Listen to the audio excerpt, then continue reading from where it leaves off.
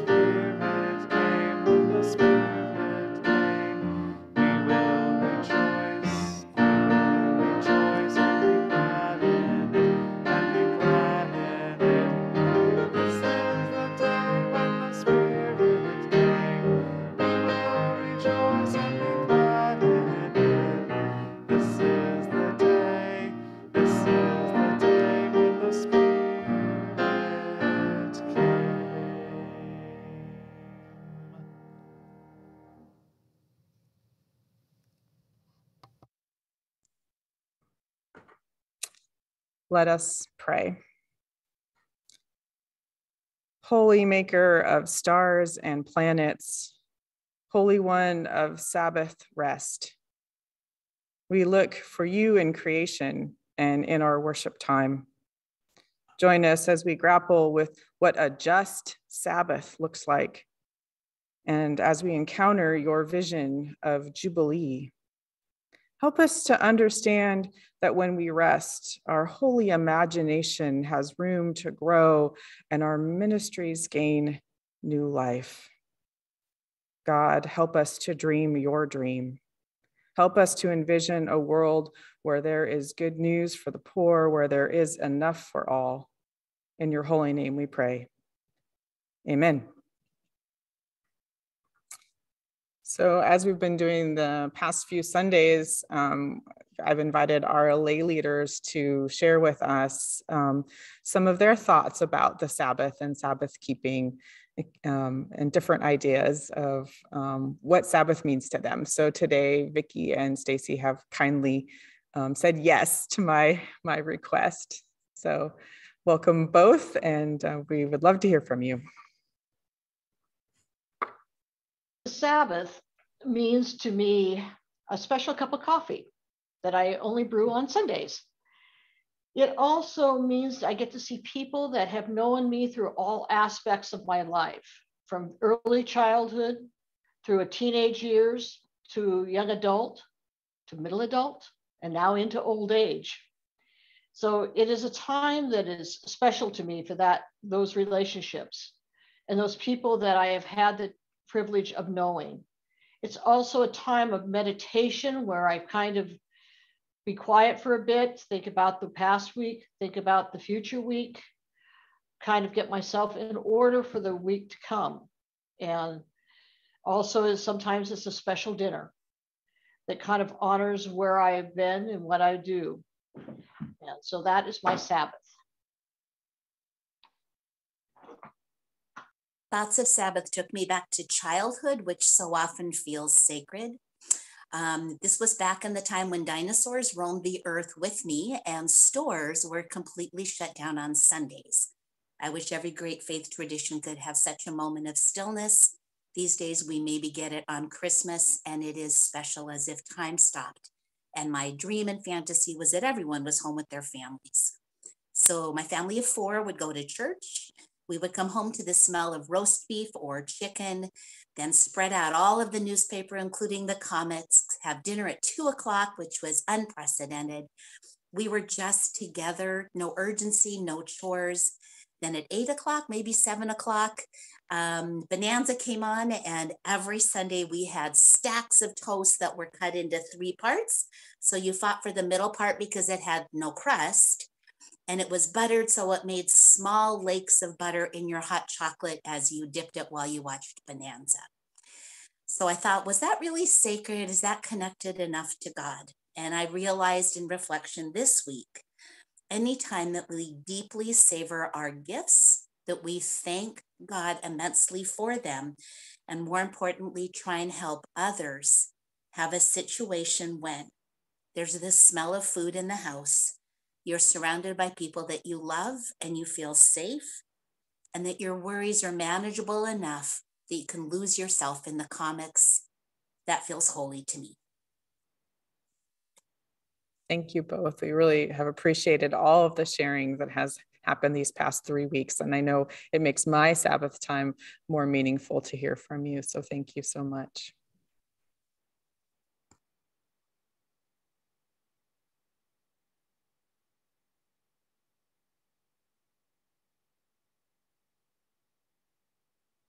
Please join me now in the prayer of reconciliation.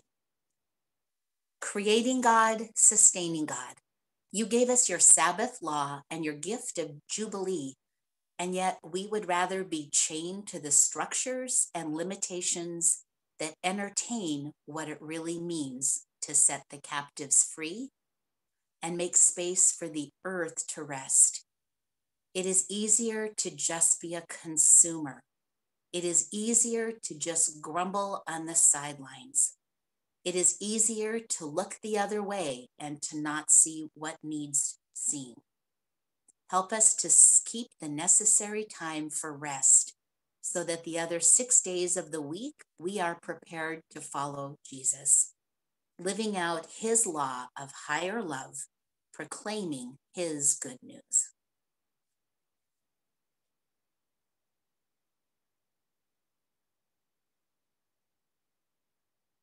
The words of assurance. The good news is we can begin again today, this Sabbath day. Every week, we are offered the opportunity of rest and renewal. It is written into our sacred story. Thanks be to God.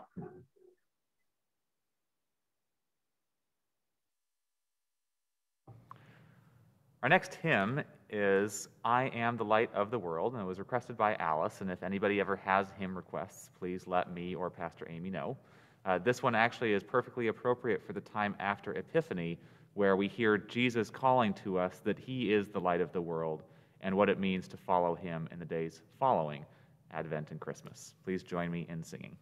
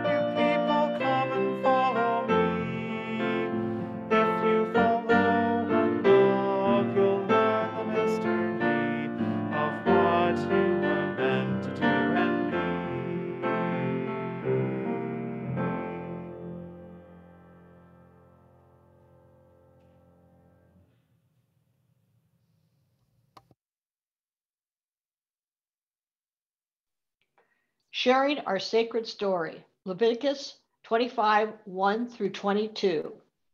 The Lord said to Moses on Mount Sinai, Speak to the Israelites and say to them, Once you enter the land that I, have, I am giving you, the land must celebrate a Sabbath rest to the Lord.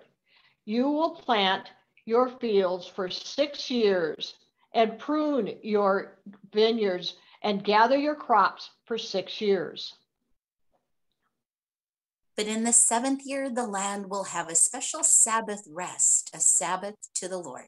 You must not plant your fields or prune your vineyards.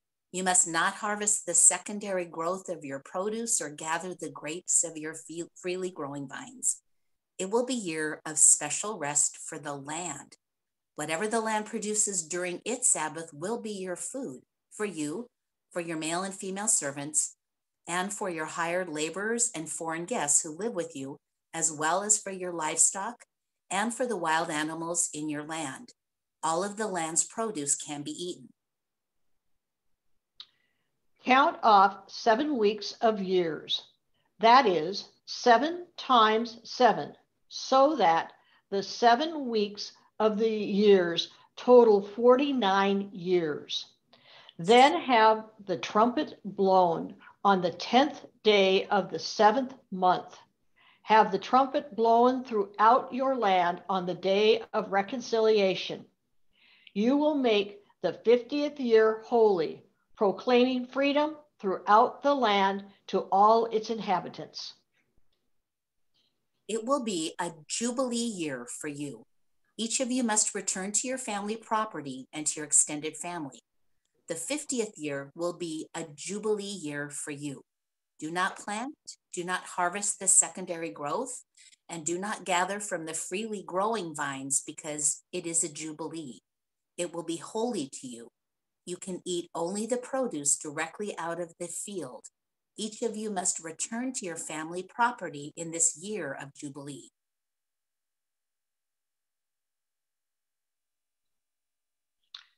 When you sell something to or buy something from your fellow citizen, you must not cheat each other.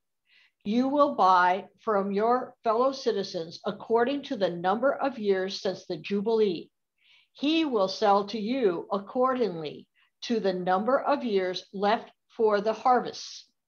You will raise the, pr- the price if there are no are more years or lower the price if there are less years because it is the number of harvests that are being sold to you. You must not cheat each other, but fear your God, because I am the Lord your God. You will observe my rules and you will keep my regulations and do them so that you can live securely on the land.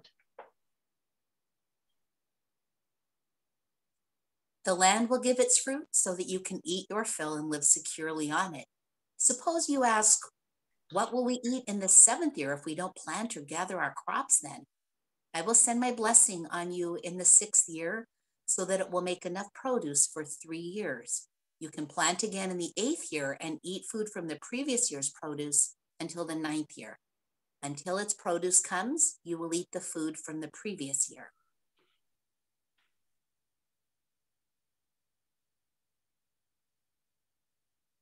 And from the Gospel of Luke, chapter 4, verses 14 through 21. Jesus returned in the power of the Spirit to Galilee, and news about him spread throughout the whole countryside. He taught in their synagogues and was praised by everyone. Jesus went to Nazareth, where he had been raised. On the Sabbath, he went to the synagogue as he normally did and stood up to read. The synagogue assistant gave him the scroll from the prophet Isaiah. He enrolled the scroll and found the place where it was written The Spirit of the Lord is upon me, because the Lord has anointed me. He has sent me to preach good news to the poor, to proclaim release to the prisoners, and recovery of sight to the blind, to liberate the oppressed, and to proclaim the year of the Lord's favor. He rolled up the scroll gave it back to the synagogue assistant and sat down. Every eye in the synagogue was fixed on him.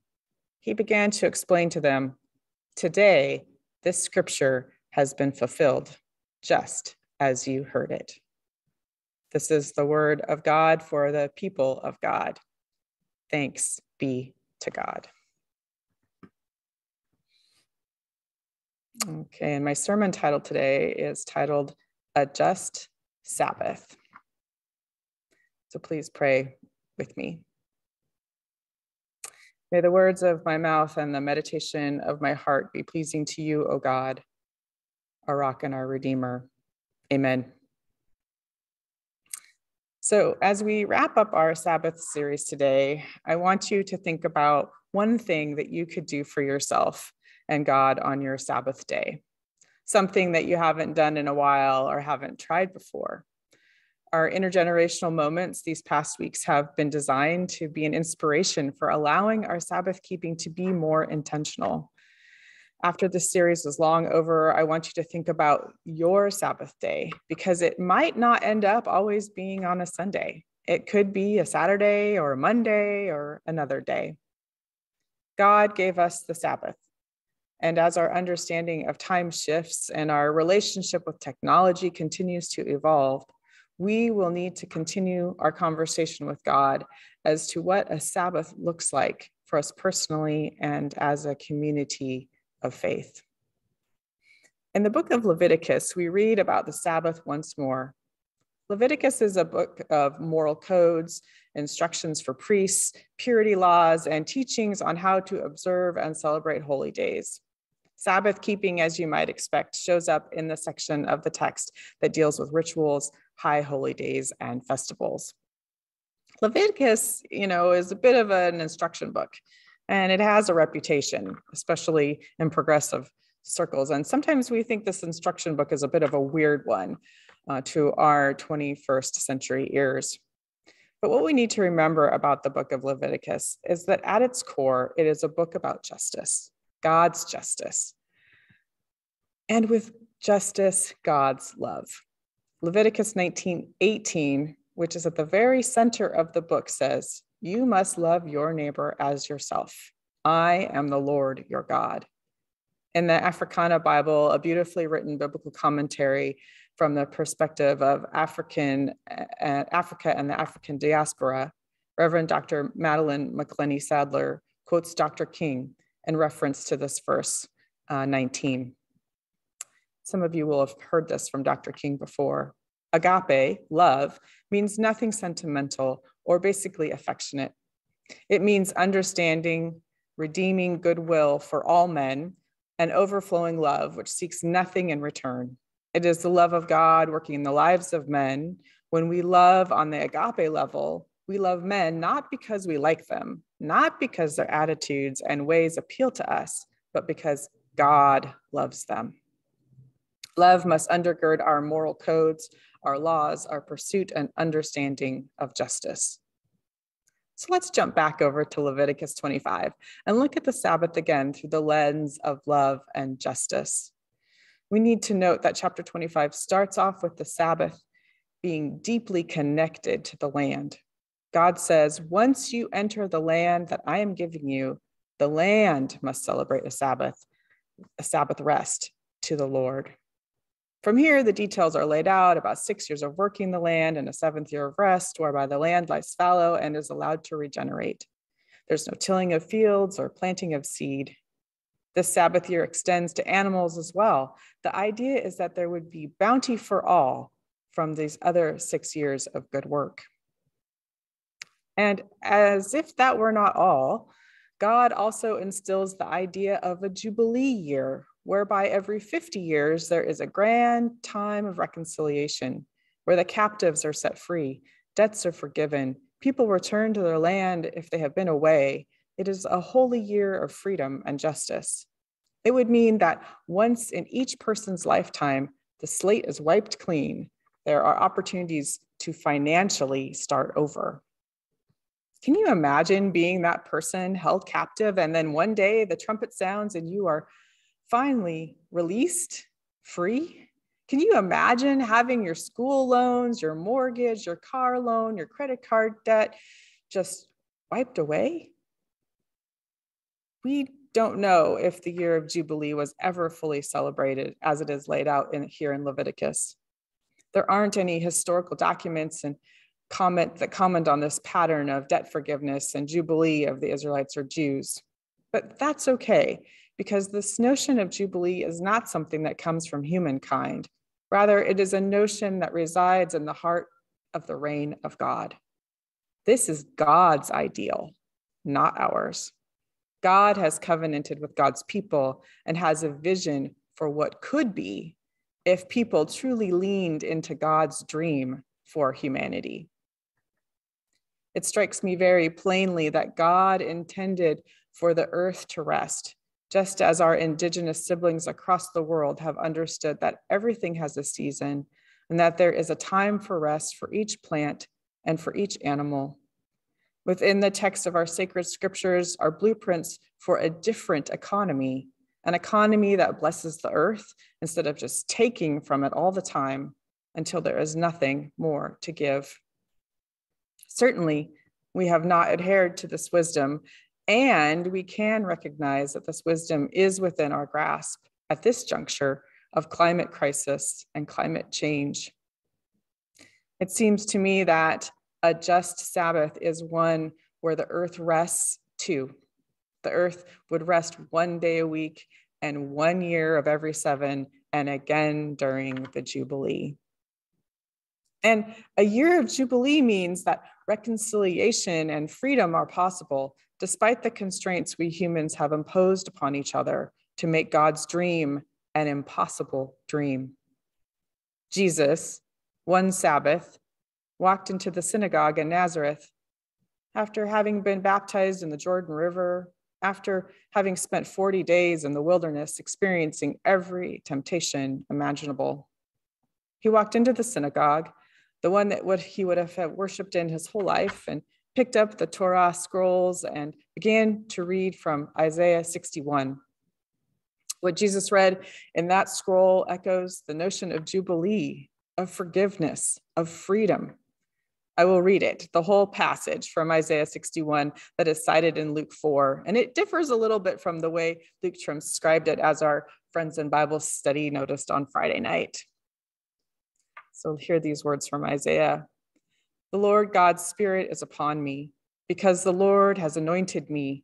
He has sent me to bring good news to the poor to bind up the brokenhearted, to proclaim release for the captives and liberation for prisoners, to proclaim the year of the Lord's favor and a day of vindication for our God, to comfort all who mourn, to provide for Zion's mourners, to give them a crown in place of ashes, oil of joy in place of mourning, a mantle of praise in place of discouragement. They will be called oaks of righteousness planted by the Lord to glorify himself. They will rebuild the ancient ruins. They will restore formerly deserted places. They will renew ruined cities, places deserted in generations past. What a rich text. Liberation that comes after a time of mourning. We lose that tenor in Luke, but it is right here. God comforts all who mourn those grieving receive a crown in place of ashes. There is joy in place of mourning, a mantle of praise given in place of discouragement.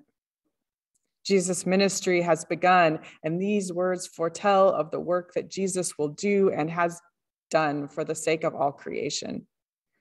Jesus himself, one commentator remarked, embodies this idea of Jubilee. Jesus is God's dream made flesh. So if you hear nothing else today, I want you to hear that. Jesus is God's dream made flesh. And it is Jesus who proclaims God's reign upon the earth. In these few lines, we see that what Luke is up to in crafting the story of who Jesus is. Jesus brings good news to the poor. Jesus proclaims release to the prisoners and recovery of sight to the blind.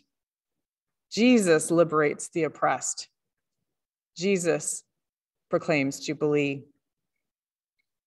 Jesus' ministry, Jesus' actions all speak to making God's dream a reality. Our role as followers of Jesus is to do likewise, to be a people of liberation and justice, love in action, not that sappy kind of love in a Hallmark card, but the kind of love that Dr. King talked about. We don't love people because we like them. We love them because God loves them and commands us to do likewise. Back in 1999, besides the fears of Y2K, there was an ecumenical and interfaith movement to proclaim a year of Jubilee in the year 2000. The idea was that all the poorest nations of the world should have their debts forgiven at the turn of the century by the World Bank and other big creditors. At that time, I was working at the East Bay Sanctuary Covenant in Berkeley, California, with Salvadorian, Honduran, and other people caught in the snare of our uh, immigration system. One of the directors of the program, John, who I would deem a very good Methodist, would talk a lot about this idea of Jubilee with me on our walks at lunch to the coffee shop and back. It was the first time I had ever really considered the idea could nations really forgive other nations of their debt? What would it mean for the poorest countries to be able to start again with a clean slate?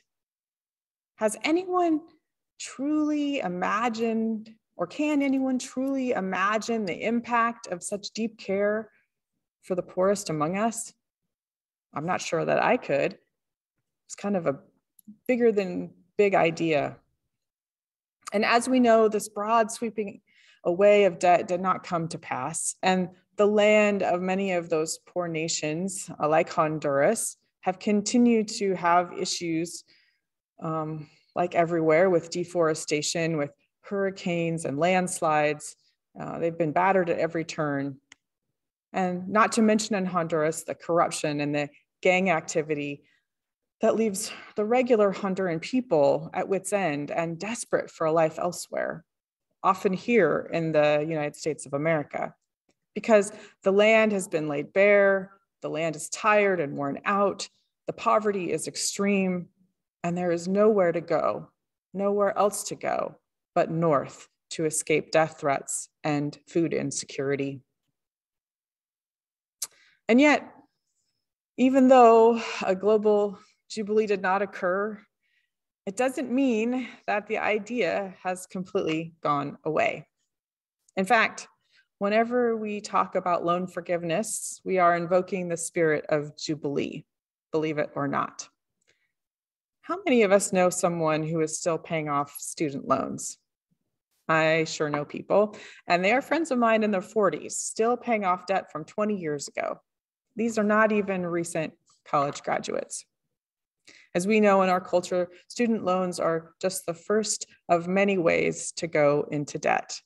After all, we have credit card debt, we have car loans, we have the mortgage payment, and that is if if someone can afford to take on that kind of debt with all the other debt that we have to pay because people can find themselves in the hospital and be buried under hospital bills and debts. People can not pay their uh, parking tickets or uh, have their tabs not be paid up and have a different kind of debt um, that they are uh, dodging all the time. It can just bury people. And for the poorest among us, it can often feel like there's no hope, for they are convinced that there's no solution or way out from this debt that crushes. It's no wonder that people sometimes just want to sell everything and become a nomad for a while, or that some people just want to check out, escape, maybe overdose. The weight of debt is soul crushing and anything but life giving. This is why the pronouncement of Jubilee and Jesus' reading of Isaiah 61 is so powerful. Both are a reminder to us all that we are not meant to live solely for work and the almighty dollar that goes towards paying off the almighty debts that we have incurred. If we are to be part of God's dream, we need to lean into God's idea of, of a Sabbath economy where love and justice are the foundation. Jesus did as much. Jesus interrupted the cycle by proclaiming the scripture had been fulfilled, that a new time had arrived where God's dream would be practiced and lived in real time, not some distant future time in the afterlife, but in the here and now. So, even when we are living amongst unjust systems, there is a way forward. If we return to the wisdom of our sacred text and we begin by observing the Sabbath, is it really that simple? I think it might be that we just return to observing the Sabbath. So that means that one, we relish one day of rest no matter what. Where the pressures, you know, we just let go of those pressures to keep working. We let go of those pressures to keep spending, where we let go of that coveting of our neighbor's fancy new truck or electric vehicle. And two, that we live into the vision that Jesus shares from Isaiah of release, freedom, and forgiveness.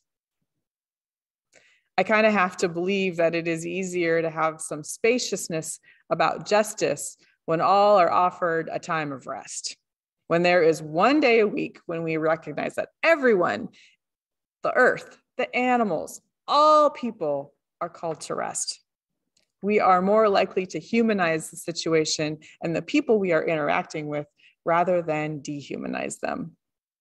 A well rested people make better decisions a well rested people might just lean into the generosity and abundance that God offers us instead of the scarcity mentality, that me first mood of our current society. So, friends, as you continue to think about your own Sabbath keeping practices, remember that God blesses your time of rest. You do not have to do more or be more or produce more or hustle more. In fact, it's just the opposite. We are, in fact, called to share the good news of the Sabbath with all who are sleep deprived. We are called to question our economic systems that bankrupt families. And we are encouraged to participate in the forgiveness of God and God's dream of Jubilee. May it be so. Amen and amen.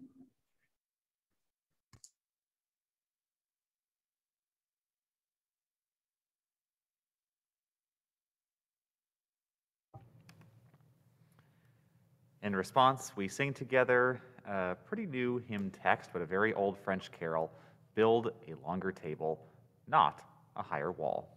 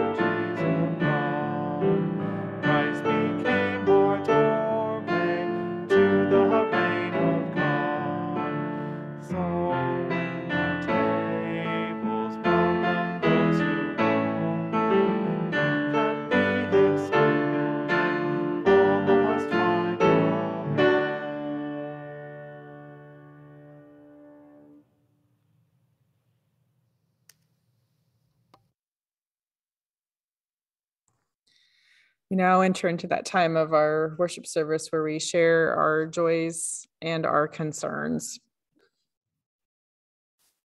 And so, any announcements this morning? Um, Kevin, do you want to share who the preacher is going to be next week? yes, I actually remembered I was going to do that. Uh, so, our guest preacher next week is actually on the national staff for the United Church of Christ, and her name is the Reverend Elena Larson, and she is our national volunteer coordinator and oversees all of our young adult mission trips, uh, some of our overseas mission opportunities, and uh, all those who are volunteering for the General Synod, the National Convention for the UCC, among many other things. And I don't believe she'll be speaking on that, uh, but she is a very talented preacher, and we'll be honored to have her next Sunday. And a little bit of trivia as I went to seminary with Elena. So she's a California girl, and so I met her in Berkeley. Um, any other announcements? We have Enneagram, our last Enneagram uh, DVD study is this Wednesday. So it's uh, number 12 of all of the DVDs that we've watched in the more than year that we've been doing this Enneagram study. So those of you that participated in that will be Wednesday, I think at four o'clock. It's either four or 4.30. Lynn can um, tell us exactly time since I don't remember.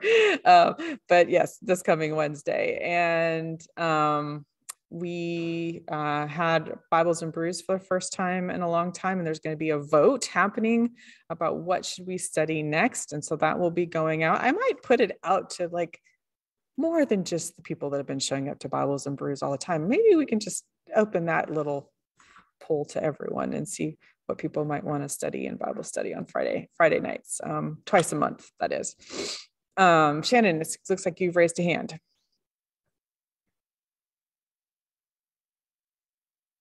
There's three steps to get to there. I'm working on it.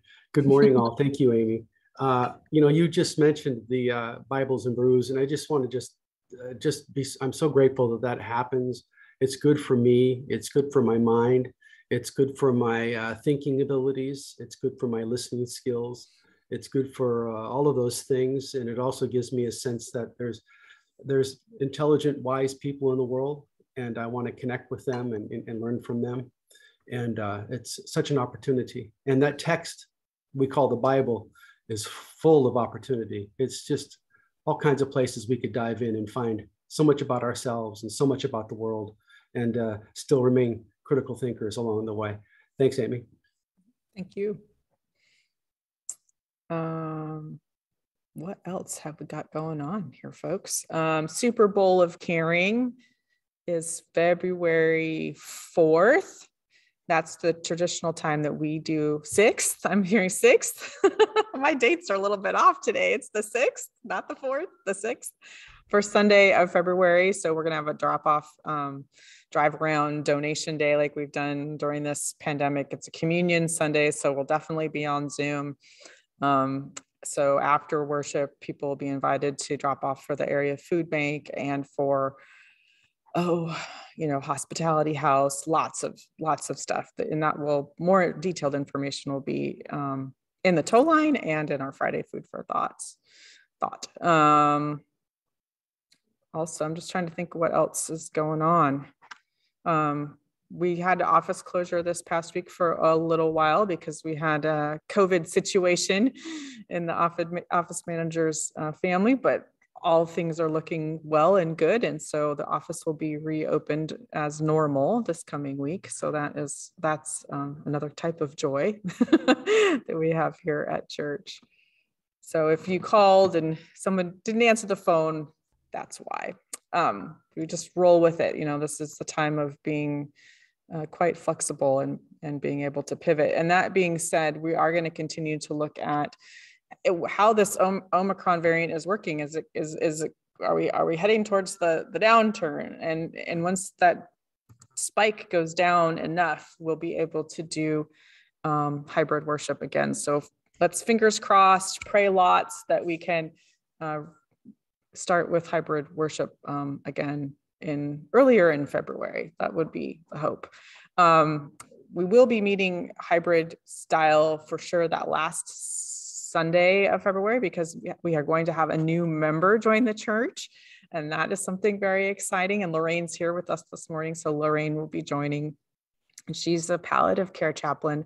And so she'll also be joining us as a minister in Four Way Covenant um, as we will be holding her work as a chaplain um, as a congregation together. So that's something really exciting to look forward to as well. And more to follow on that as uh, Lorraine gets to meet the rest of you um, as time goes on. So I think that's what we've got for today, unless anybody else has anything else they'd like to add time, talent, and treasure. Um, just know that you can always give online.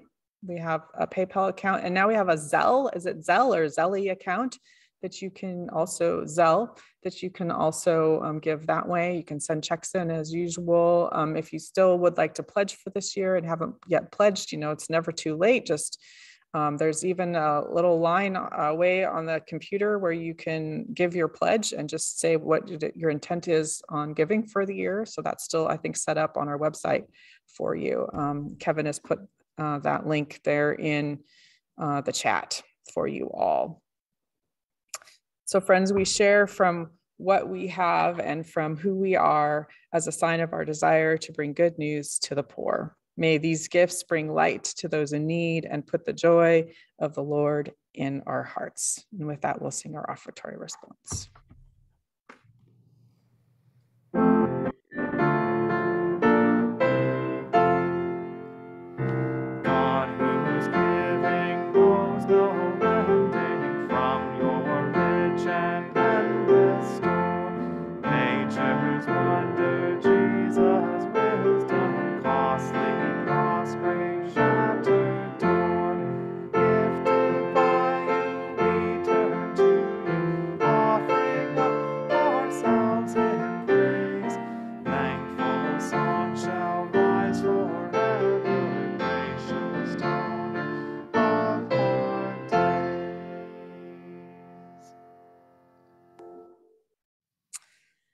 So, friends, may you go in peace. May you go in love.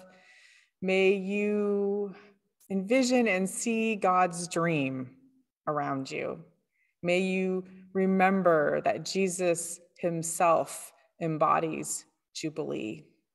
And we, as followers of Christ, are invited into the dream and the dance of Jubilee as well. Go in peace, go in love. Amen.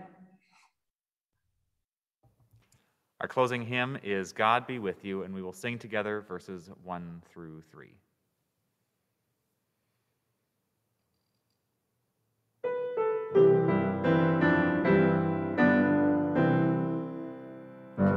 God be with you till we meet again. My good counsel guide uphold you with the shepherd's care and